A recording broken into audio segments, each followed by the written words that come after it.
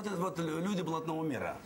Это какие-то... Я, я не спрашивал, кто они, об этом неудобно спрашивать. Ну, и мне говорили, я знал, и там, или они сами говорили, вот, что они там вот такие и такие. Ну, поскольку они были на свободе, они, наверное, не сделали ничего такого плохого, чтобы их посадить в тюрьму.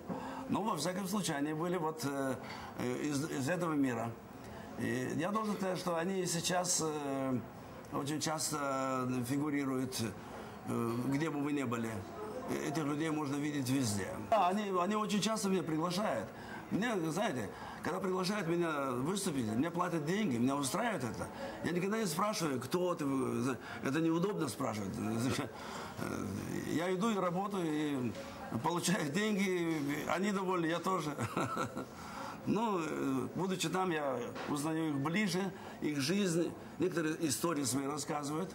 И многие мои песни, они написаны просто с листа, как говорят. Они рассказали мне историю, я переложил на стихи, козырная карта, вот у меня есть, я был в Катране, когда играли на деньги, там у них пистолеты лежали и деньги.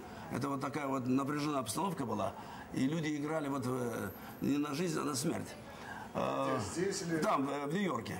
В Нью-Йорке.